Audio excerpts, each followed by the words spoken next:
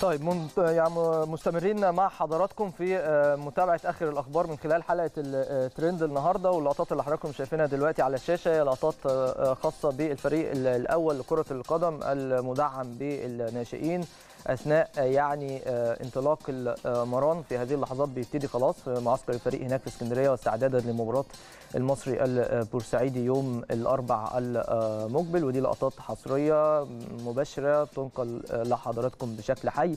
إن شاء الله نتمنى لهم جميعا كل التوفيق. ويعني معنويا الأمور ماشية بشكل كويس جدا بعد الفوز الكبير على الاتحاد السكندري بالأمس. إن شاء الله الأهم دايما الاستمرارية وأي واحد قدم أداء جيد مهم بالنسبة له إن هو يستمر في تقديم هذا الأداء ويثبت نفسه بشكل كبير يعني كل تفصيل دايما بنقلها لحضراتكم من خلال شاشة قناة النادي الأهلي مختلف برامجها. طيب خلينا نروح لترند الأهلي وأهم أهم وآخر الأخبار والتفاصيل اللي بتتعلق بالفريق واللي اتكتبت على الحسابات الرسمية المختلفة. نبتدي بسبورت 360 على تويتر واللي بيقولوا علي لطفي دائما ما يكون حاضر بقوة مع المارد الأحمر. علي لطفي هذا الموسم لعب خمس مباريات ما دخلش مرمى ولا هدف. الناس اللي دايما تقعد تتكلم على إن الأهلي محتاج حراسة مرمى كمان من ده دي ممكن حاجة تخص الناس المسؤولين في النادي الأهلي الله أعلم بيها يعني. لكن الأهم إن إحنا عندنا حارس جيد برضه لما بيشارك بيأدي بشكل مميز. وإمبارح كان آه، ممتاز جدا علي لطفي في بعض الاختبارات اللي تعرض ليها أثناء مباراة ال- الاتحاد وأدى بشكل آه، رائع. وعلي لطفي يا جماعة حارس منتخ- منتخبات بالمناسبة يعني. سواء تختلف أو تتفق على ادائه لكن هو لعيب آه، أو حارس مميز في كل الأحوال. والأرقام كمان بتقول كده. نتمنى له يا رب كل التوفيق يعني.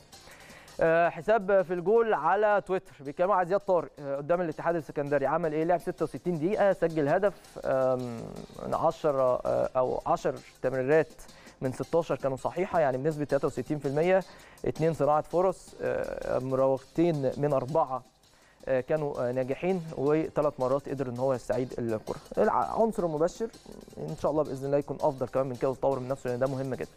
الوطن سبورت بيتكلموا عن إن في خمس لاعبين شباب مرشحين للانضمام إلى آه، قائمة الأهلي الإفريقية. أبرزهم أحمد سيد آه، غريب طبقا للخبر إن هم آه، بيقولوه. أكيد هيكون في بعض العناصر الشابة في قائمة الأهلي الإفريقية لكن لسه لم يتم الاستقرار بشكل نهائي. هنا بيقول لك مين هم؟ محمد أشرف زياد طارق أحمد سيد غريب محمد مغربي. ومحمد مغربي كده كده معارض شيك هل هيرجع بعد الإعارة دي أو هتمتد؟ ده قرار برضو المسؤولين عن الكرة داخل النادي الأهلي وأيضا يضاف ليهم أحمد نبيل كوكا. أحمد نبيل كوكا بقاله فترة كبيرة مع الفريق الأول يعني. طيب خلينا نروح لخبر آخر عن حسين الشحات وده من حساب مبتدى على تويتر واللي بيقولوا إن حسين الشحات هيوصل النهارده القاهرة بإذن الله يوصل بالسلامة علشان يبتدي مرحلة جديدة من مراحل التاهيل بعد آه، إجراءه آه، جراحة غضروف الركبة أحد العناصر المميزة في صفوف النادي الأهلي وإن شاء الله يكون يعني في طريقه للعودة السريعة للملاعب لأن أكيد الأهلي في أشد الحاجة ليه ولكل زمايله المصابين يعني.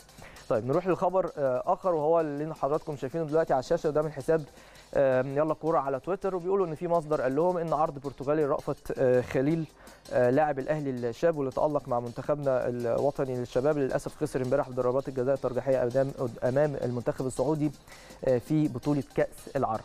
رأفت خليل من اللاعبين المميزين جدا في الحقيقة وهو بالمناسبة هيخلص أو هو في طريقه للعودة للقاهرة ينضم مباشرة لمعسكر الأهلي في اسكندرية عشان قد يتم الدفع بيه في المباريات المقبلة في بطولة الدوري هو لعيب جيد بيلعب جناح أيسر وبيجيد كمان في الجناح الأيمن.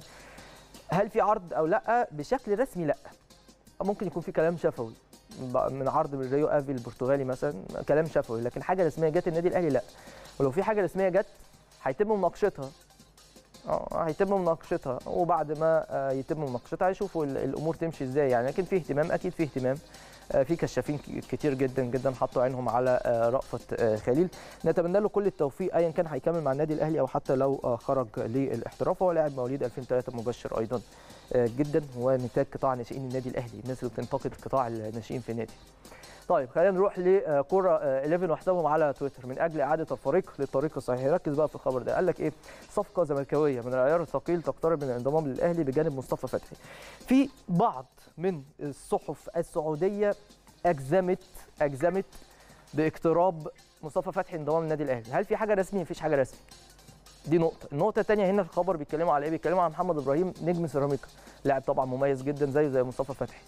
لو جم ال- الأهلي وكانت رؤية الناس في النادي إن هم يجوا أكيد هيكون إضافة للفرقة. لعيبة آه، مميزة. لو ما جوش برضو آه، هنشوف الفوضات وكلام الأمور تبقى ماشية فيه إزاي. لكن حتى الآن مفيش أي حاجة رسمية يا جماعة. الاجتهادات كتير جدا وكل واحد بيتنبأ وكل واحد بيتوقع وممكن حد يكون عنده معلومة طبعا وبيجتهد وبيحاول يجيبها. لكن إحنا دايما هنا من خلال منبر الأهلي الرسمي بنتكلم بالشكل الرسمي. حتى الآن الأهلي ما أنهاش أي صفقة. في ناس تقول لك الأهلي خلص مهاجم الأهلي ما أنهاش أي صفقة. لكن شغال.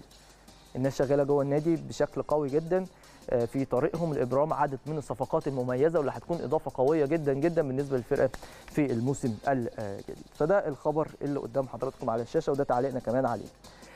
آه، وده كمان كان ترند الأهلي. خلينا نروح لفاصل بعد الفاصل نرجع نكمل.